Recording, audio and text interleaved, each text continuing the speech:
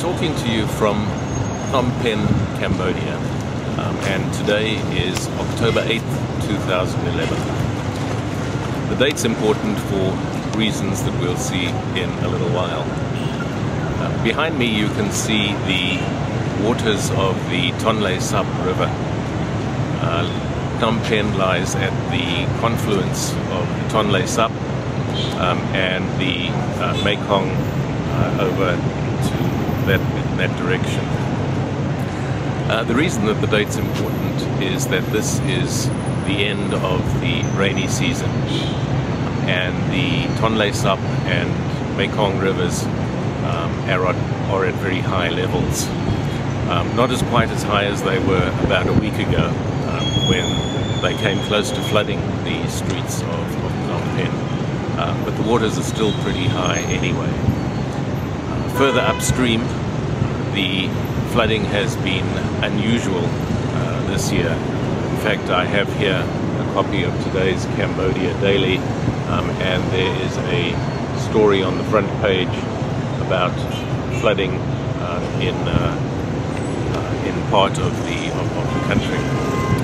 Now, floods are an important and indeed vital part um, of life in Cambodia. And the reason for this is that much of Cambodia is flat, uh, relatively flat.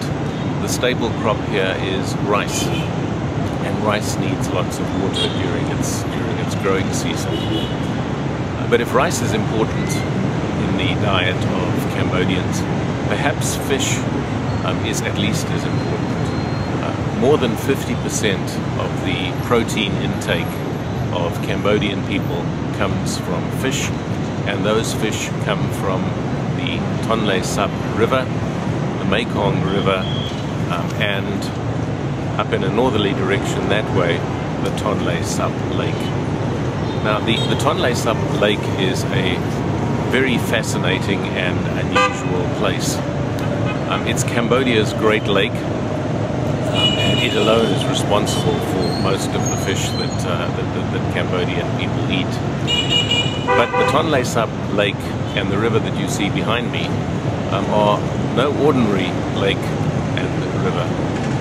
Uh, you'll notice that uh, from the plants behind me floating down the, the river, um, that the river is now flowing in a southerly direction. Well, today's Saturday.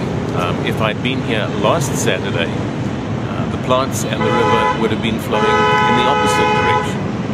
Uh, sometime over the last weekend, the rivers, the, the Tonle Sap River reversed direction and started flowing south instead of north. Um, this happens every year um, and is part of the uh, unique ecosystem that makes Tonle Sap so productive.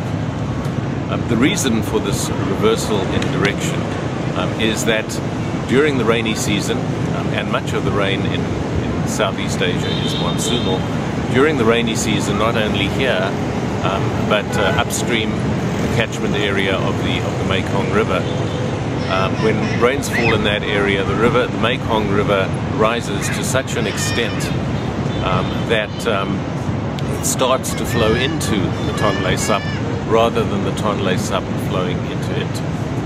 Uh, the result is that during the wet season, the waters of the Tonle Sap Lake uh, rise uh, sometimes by up to 10 meters. Uh, and the area of the lake increases fivefold. Uh, so this is a, uh, a very unusual hydrological system um, and one, as I've said, that's very, very important to Cambodia. Uh, the Mekong River system, though, is not only important to Cambodia, um, it's vital to the southern part of Vietnam. Uh, the Mekong Delta region is uh, one of the world's most productive rice growing regions. Uh, the Mekong River, the Mekong River system uh, is more productive in terms of fish than the Amazon, um, than the Mississippi, um, and more productive than the Yangtze River in, in China. Uh, now, this means that, uh, well, a lot of people rely on the on the river for their for their livelihood. Um, and this is a cause for great concern because uh, at the moment there are plans afoot to build several dams on the on the Mekong River. Uh, most recently, a dam, uh, a project was announced um, in Laos um, that would provide electricity to, to Thailand. Uh, and this is causing great concern because of the potential impact of the hydroelectric uh, dam on the uh, on, on, on uh, fish populations in the river.